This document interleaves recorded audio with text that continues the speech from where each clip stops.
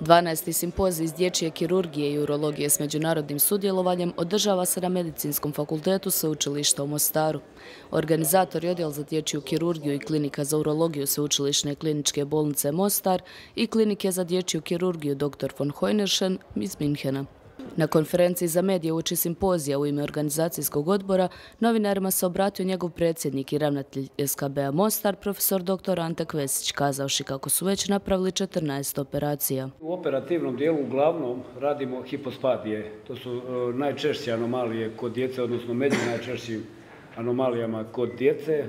Vrlo su zahtjevne za operirati ne radi puno ljudi u svijetu dječjih kirurga, ne radi puno ljudi hipospadije. Mi smo ovdje na, e, najprije smo iskoristili priliku kad su nam počeli dolaziti odlični da riješimo one naše teške koje nismo znali sami riješiti, a sad već ovaj put više nemamo teških jer smo ih potrošili. Prema Kvesićevim riječima SKB Mostar je jako blizu vodećim centrima u Europi jer u dječjoj kirurgiji rade sve osim kardio i neurokirurgije. Što se tiče urologije, dr. Gilja je rekao kako se u Mostaru može napraviti sve što moderna urologija može. Kada današnja urologija u Mostaru može se mirne duše s bilo kom urologijom i u Hrvatskoj, da ne kaže šire, bi treba ipak skromno zrati. Prema tome ja sam jako zadovoljan kako to sad zgleda, ima puno mladih ljudi, voljni su učiti i oni će to dalje razvijati siguran sam.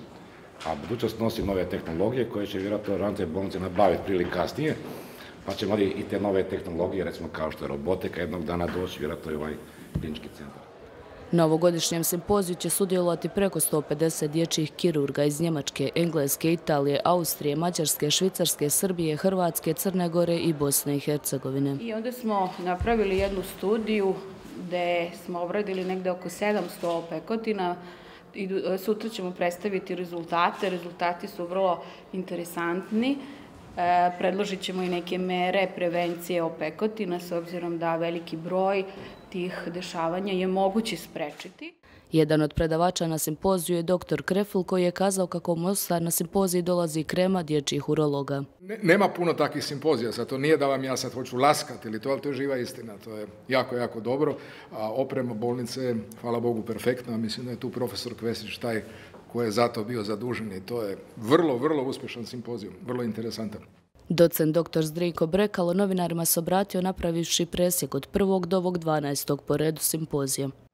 U našem kiruškom zanatu postoji, ne kaže, zvijer kirurg. Ovdje su zvijeri kirurgi na jednom mjestu, kirurzi koje je teško skupiti. Profesor Kres je postavio takav visok standard da mislim da će to teško negdje neko ponoviti. U operativnom dijelu simpozija planirano izvođenje 24 operacije djece iz svih krajeva Bosne i Hercegovine i Hrvatske. Budući da će na simpoziju sudjelovati eminentni svjetski stručnjaci iz dječje kirurgije i urologije, odlična je to prilika za razmjenu iskustava, znanja, kao i za usvajanje novih stručnih i znanstvenih dometa iz ove oblasti.